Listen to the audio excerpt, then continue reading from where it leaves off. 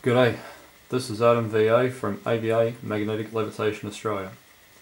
And what you see before you is um, what I like to call the levitating rocket sled of doom. Basically, it's constructed out of a small piece of pyrolytic graphite. It's been specially modified. It's got a very small wind deflector on the front of it and um, small rocket engines. In the video you're about to see, I used uh, single fuel, mixed fuel, and also two stage engines. And as you can imagine, small rocket engines of this size, doing those sort of combinations, I had good results, bad results, and catastrophic failures. So um, I hope you like them when they happen. And um, basically, the way it works is um, graphite has um, one of the highest diamagnetic values known to man, and whenever you put it over opposing magnetic fields that are really powerful, normally from neodymium or rare earth magnets of uh, configuration of north, south, north or south, north, south, you'll find that the pyrolytic graphite will um, levitate.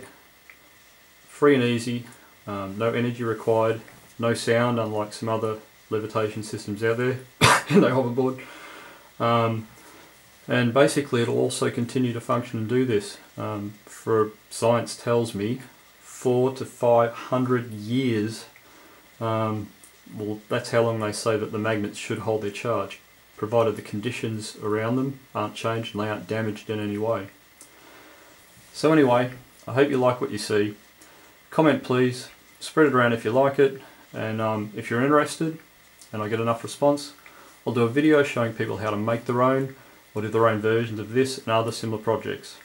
Thank you very much for your time and I hope you enjoy. This is Adam VA from AVA Magnetic Levitation Australia, signing out.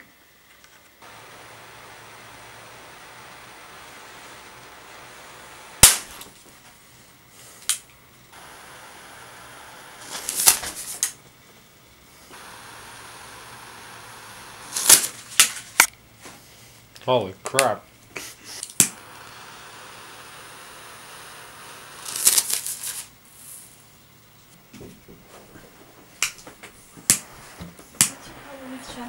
Shutting doors, huh? No, no, no, I wouldn't stand there if I was you.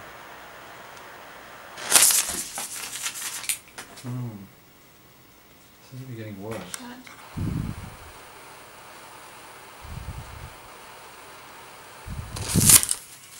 Yay!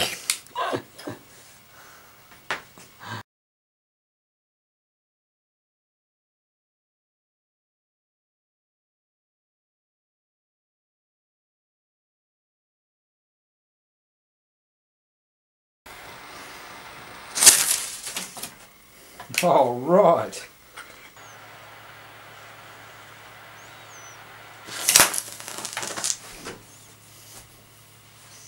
What the crap?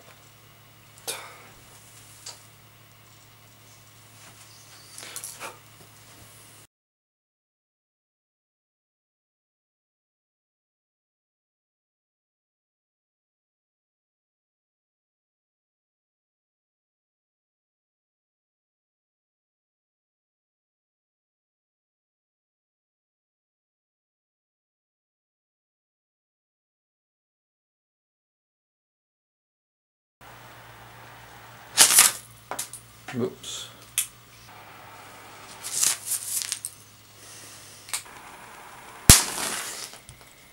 Hmm.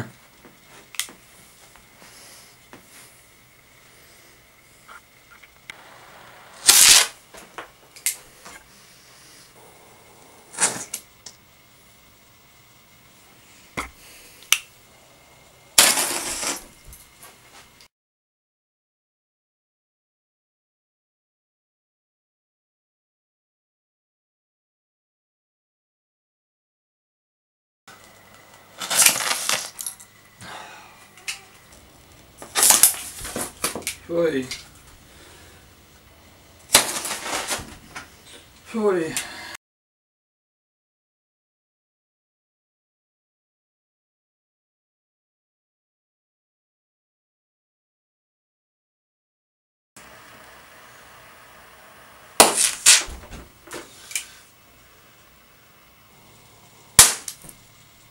That's it.